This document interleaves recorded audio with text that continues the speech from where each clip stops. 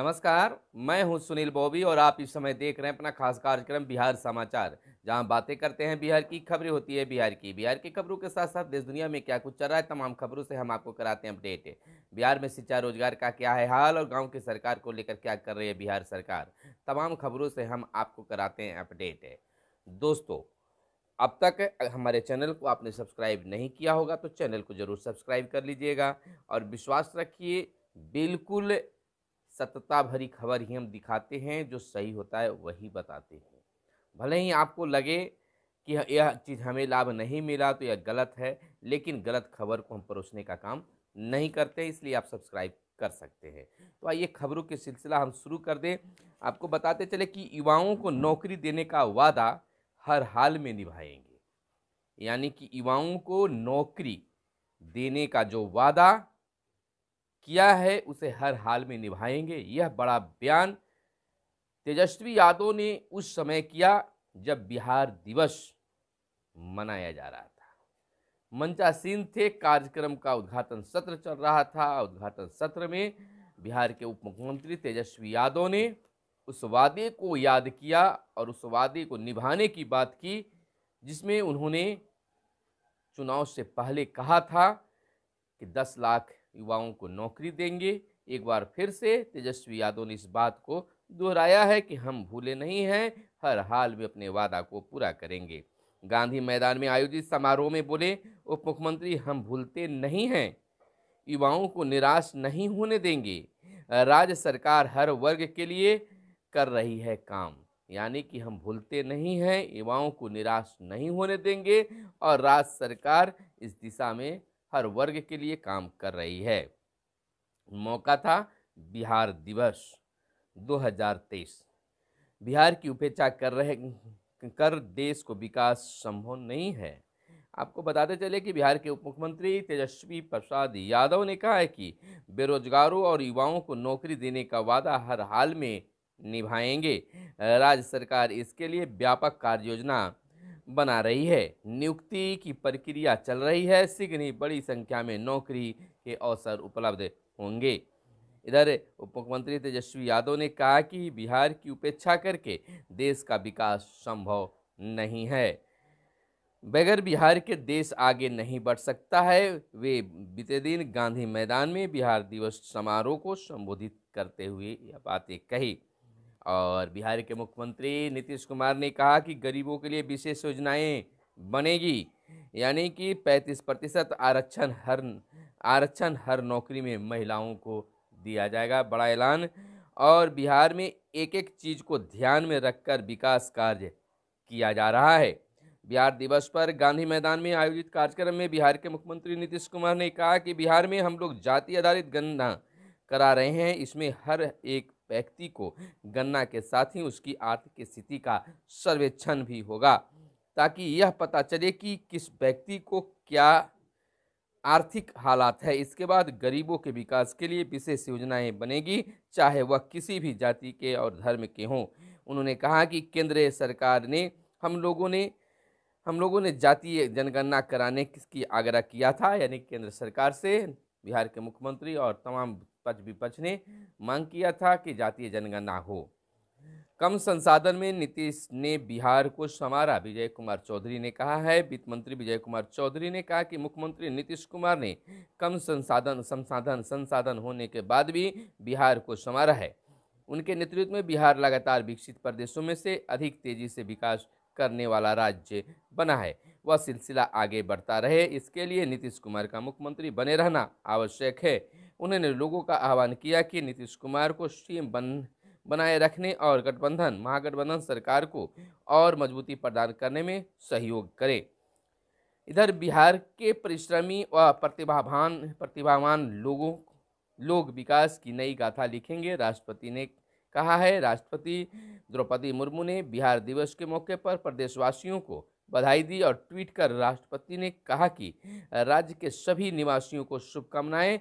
भगवान महावीर, भगवान बुद्ध और गुरु गोविंद सिंह की से जुड़ी यह गौरव, गौरवमयी धरती लोकतंत्र की जननी भी है। बिहार के परिश्रम और प्रतिभावान लोग विकास और समृद्धि की नई गाथाएँ लिखेंगे। यह मेरा दृढ़ संकल्प विश्वास है। इधर प्रधानमंत्री ने कहा कि लगन और कठिन परिश्रम से बिहार के लोगों ने विशेष पहचान बनाई है। प्रधानमंत्री नरेंद्र मोदी ने ट्वीट कर बिहार दिवस के मौके पर प्रदेशवासियों को बधाई दी। कहा, बिहार दिवस पर राज्य के अपने सभी भाई बहनों को बहुत बहुत बधाई, अपने समृद्ध इतिहास और जीवन संस्कृति के लिए प्रसिद्ध बिहार के लोग, देश के विकास के लिए हर क्षेत्र में अतुलनीय योगदान दे रहे हैं। अपनी लगन और कठिन परिश्रम से उन्होंने एक विशेष पहचान बनाई है। वहीं गृह मंत्री अमित शाह ने कहा कि भारत का सिरमौर है बिहार तो राहुल गांधी ने कहा, बिहार भारत का गौरव है। इधर हम आपको बताते चले कि बिहार के सभी मेडिकल कॉलेजों में इन्फ्लुएंजा वायरस की होगी अब जाँच, और अभी सिर्फ़ पटना के आर एम आर आई में है जाँच की व्यवस्था। जल्द औपचारिक घोषणा भी की जाएगी। सभी स्वास्थ्य संस्थान पहले से अलर्ट, दो सौ अठासी मरीजों को हुई है जाँच, उन्नीस को फ्लू पुष्टि। इधर कोरोना से मौत, चार हज़ार सात सौ इकतीस को अब भी नहीं मिल पाया है अनुदान। राज्य में अठारह हज़ार नौ सौ निन्यानवे लोगों की हो चुकी है मौत। चौदह हज़ार दो सौ अड़सठ को ही अब तक मिला है अनुदान। इधर सीएम ने चैती नवरात्रि को सभी को दिया है शुभकामनाएँ और सम्मान व सुरक्षा। भाजपा सरकार की प्राथमिकता है, पूर्व मंत्री नंदकिशोर यादव ने कहा है। और एक बड़ी खबर अभी अभी निकल कर आई है कि भाजपा के प्रदेश अध्यक्ष के रूप में सम्राट चौधरी को नियुक्त किया गया है। तो भाजपाइयों ने उन्हें बधाई दिया है और मनीष कश्यप को लेकर आज छिटपुट रूप से बिहार बंद के ऐलान को भी देखा गया है। स्कूटनी और कपाटपेटन को आवेदन आज से शुरू हो गई है। यानी कि जो इंटर परीक्षा में उन किसी भी सब्जेक्ट में, अगर आपको शंका है तो आप स्कूटनी के लिए आवेदन आज से कर सकते हैं। और अगर आप किसी तरह से अनुत्तीर्ण हुए हैं, पास नहीं कर पाए हैं या फिर से परीक्षा देना चाहते हैं तो आप सप्लीमेंट्री के रूप में कंपार्टमेंटल परीक्षा आप दे सकते हैं। सत्र आपका बर्बाद नहीं हो पाएगा। चाँद का दीदार नहीं, पहला रोजा कल होगा। पटना सहित सूबे में सुहाना हुआ मौसम मौसम का मिजाज बदला, आज बिल्कुल मौसम साफ़ साफ़ रहा। सीएम आवास को उड़ाने की धमकी देने वाला गिरफ़्तार 20 मार्च को दी थी। धमकी, सचिवालय थाने में दर्ज हुआ था केस। गुजरात पुलिस ने जारी किया आरोपी का वीडियो, गूगल पर सर्च कर निकाला था नंबर, फिर दी धमकी। इधर जंदाहा बाईपास निर्माण जल्द निमिंदा जारी और बख्तियारपुर रजौली सड़क निर्माण कार्य पर हुई सुनवाई। इधर खगड़िया सहित तीन जिलों ने शिक्षा व स्वास्थ्य में किया बेहतर। और रैंकिंग जारी है रैंकिंग रहा है और नित्यानंद राय के खिलाफ अदालती कार्रवाई पर रोक। इधर हम आपको बताते चले कि बिहार अपना गौरव हासिल करेगा, मुख्यमंत्री नीतीश कुमार ने कहा। और यह भी कहा कि विशेष दर्जा मिले तो और तेज़ी से बिहार का विकास और तरक्की हो सकेगा। गांधी मैदान से लेकर पूरे राज्य राज्य और देश दुनिया में कार्यक्रमों की धूम केंद्र में सिर्फ़ चर्चा होती है, यह मुख्यमंत्री ने कहा है।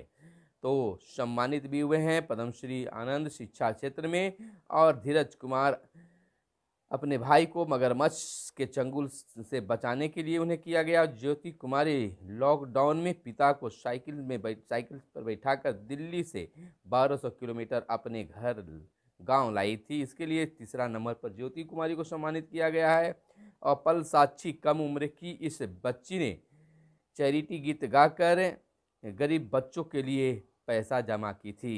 तो इसलिए चार लोगों को सम्मानित बिहार सरकार ने किया है बिहार दिवस के अवसर पर।